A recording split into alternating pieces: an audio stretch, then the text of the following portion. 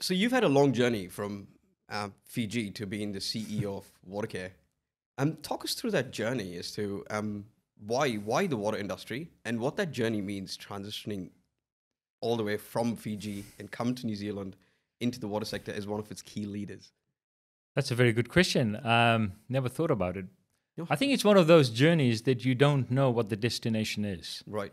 So you take the journey, things happen in your life. So I studied in New Zealand, I went back to Fiji, and I was going to stay in Fiji. I love Fiji. you Yeah, know, who doesn't? Uh, yeah, exactly. And then there was a military coup. Yeah. right. Was this in 2013? uh, Give or take. 2000, no, before then, Before the then, first yeah. military coup. Oh, right. Yeah. Yeah, yeah. So uh, that's such a long time ago that you know. So when that happened, two thousand seven, I I think. Um, no, nineteen ninety seven. 97. Yeah. Yeah, right. ninety seven. Um, and so that led me back to New Zealand.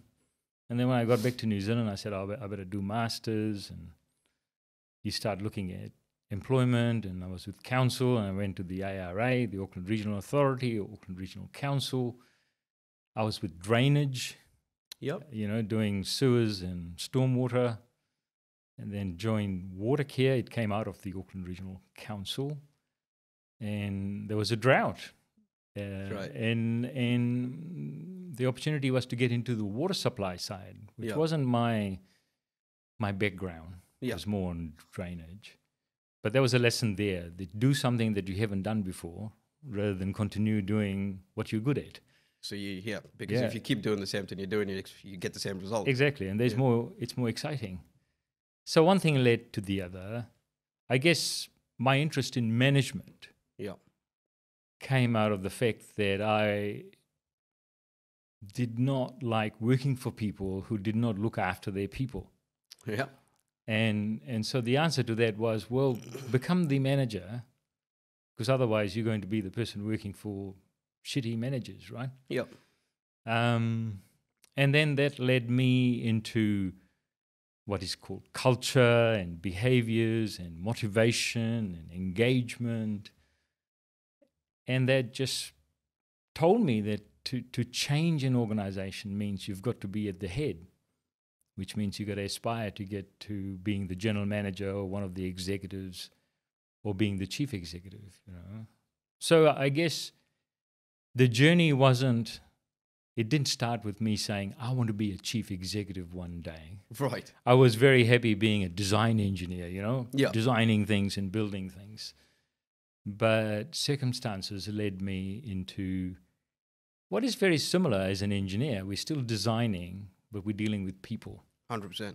so Yeah. we, we're designing Purpose. systems and purpose, Purpose. and and we are growing people Yeah. uh, and strengthening people rather than strengthening buildings. Absolutely. Yeah. So um, you said, you know, you, you didn't want to work for shitty managers. Yeah. I still a- don't. I still don't. Fair enough. In, from your perspective, define a shitty manager. Uh, there's lots of um, attributes that they may have, one or more, but it could be their ethics, the values that they have. Uh, the most common one is that they're controlling. Yeah. They want to tell you what to do. They constrain your innovative juices that's flowing. They constrain your contribution that you want to make. They constrain everything. They're constraining. So they turn us into people who just turn up to do the task, wait to be given the next task, and then go home. Um, for me, that's that's very boring. Uh, fair. I've, I've had a manager like that. I think we've all had managers like that. And some Yeah. people thrive in that because Yeah. their life becomes simple. yeah, because because then they're performers. Then then Yeah. all they do is they have a checklist and they that's Yeah. tick off the checklist. They want to go home, which Yeah. is great for them, you know. Yeah, exactly. And then there are um, innovators who Yeah. um, thrive on innovating, and, yeah. and it does depend on everybody's personality and what what brings them joy at the end True. of the day as well. yeah. Yeah. So they're leaders and they're followers. You Yeah. can't be a leader if there's no followers, right? hundred percent. Yeah. Yeah. So, um, can we talk a little bit about your journey as um, being the CEO of Watercare? How's that experience been for you? Uh, well, I was CEO for six years. Yeah. Um, I've enjoyed all my CE roles. Yeah. Um, so I had three.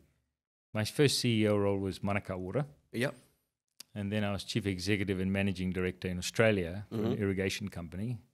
And that's the one I enjoyed the most. Right.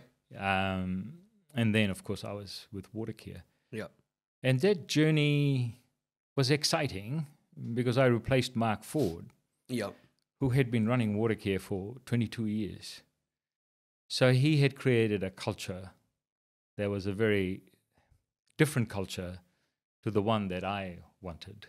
Uh, and the first three years of Watercare um, as CEO was all around changing that culture, around safety, being customer centric, being more commercial, uh, the behaviors of the, the organization, the individuals, um, stopping the paternalistic behaviors in the organization, telling people it was okay to make mistakes, and, Yep.